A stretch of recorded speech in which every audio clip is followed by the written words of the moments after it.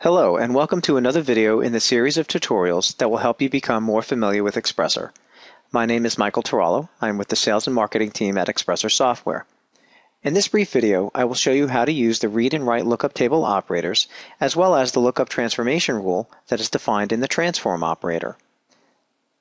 A lookup table is simply used to enrich an incoming data record with additional detail that can come from another source.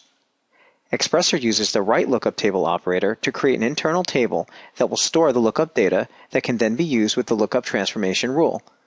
This transformation rule is defined in the transform operator to further enrich the incoming data record. Please note, a read lookup table operator is simply used to just read data from a defined lookup table. You could use the read lookup table operator as another input source of data. I have already opened my existing workspace and created a project. I have also created a blank data flow and a file connection. Please refer to other tutorials in this series to learn how to perform some of those basic functions. Let's open up our data flow and let's define step one by right-clicking and selecting rename and let's name this one load lookup. This will be step one of our multi-step data flow that will first load a lookup table and then the next step will use that lookup table. Now, in order to load a lookup table, you need to specify what type of input source. For this example, we're going to use read file. I'm going to select my defined connection, and then we're going to select the new delimited schema option. Get data from file, select our file connection, and select our department's text. If I open that up, you will see that I have a department ID and a department name.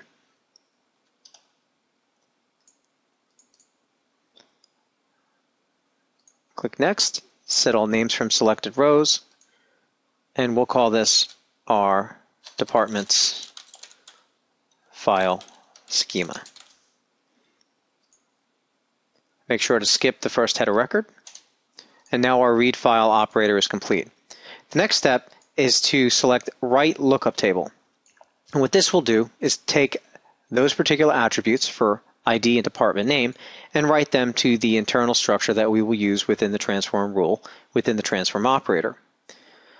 So here you'll notice we don't have a lookup table defined, so we can select the button next to the drop down and select new lookup table. This one can be called departments lookup table. Click create. Upon doing so, you have a layout structure where you can start manually defining attribute names and keys, or you can use the assignments that you have from existing composite types or atomic types that have been set up already. In this case, what we're going to do is we're just going to select assign shared, and then from the existing used by schema, we have our composite type, ID, and department. This is the one that comes out of the schema that we set up a moment ago for read file. We're just going to reuse that schema for the structure for our lookup table. Now, upon doing that, we need to define a key. And what we can do is select our ID and click Add to New Key. We can leave the default name as Key 1. And now we have defined our key for the lookup table. This will be used within the transform rules operator when we perform a match on the incoming department ID from another file. We can click validate. It'll make sure the artifacts are valid, and then we can save this particular lookup table and it will populate accordingly. Now please note that if you want this table to be persistent, you can assign it to the file connection that you have defined and what this will do is write out a database file that is used for the lookup table. If you do not assign this connection, what will happen is, is at runtime, the database table is created, and then upon completion of the data flow, the database internal structure is removed. Let's go back to our data flow, and let's execute. And then upon looking at our statistics, we can see that four records were written to the lookup table. So let's add a new step and let's select read lookup table. And what read lookup table does is simply reads the lookup table that's been defined within the project. And then for argument's sake, we can say write file. Select our file connection.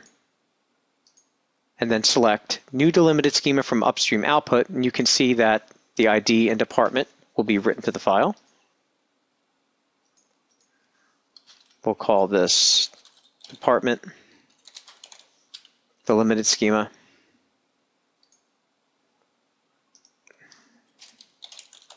Call this file departments2.txt and include the header record.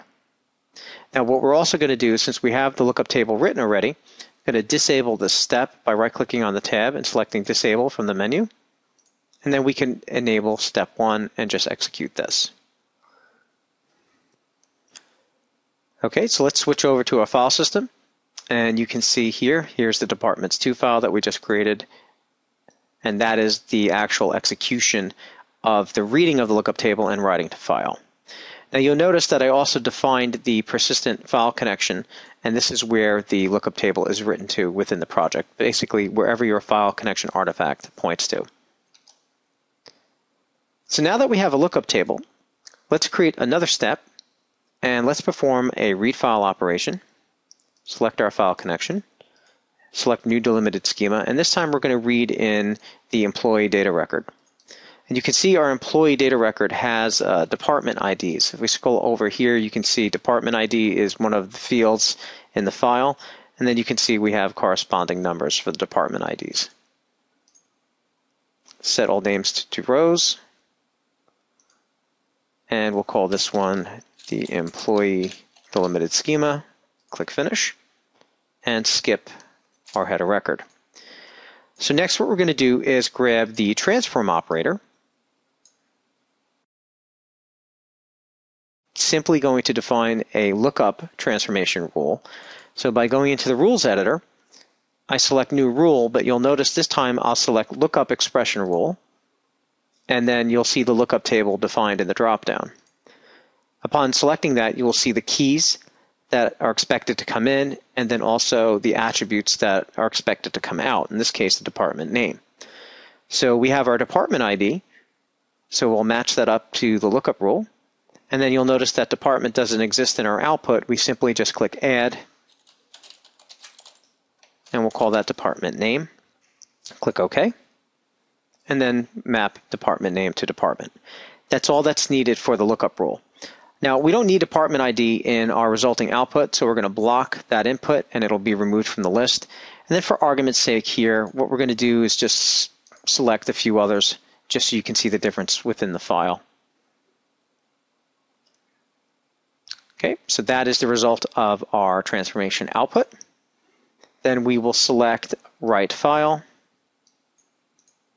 select our file connection, Select new delimited schema from upstream output. Here's the outputs that are coming from the transform. These are the attributes that are going to be written as fields to the file. And we'll just call this one new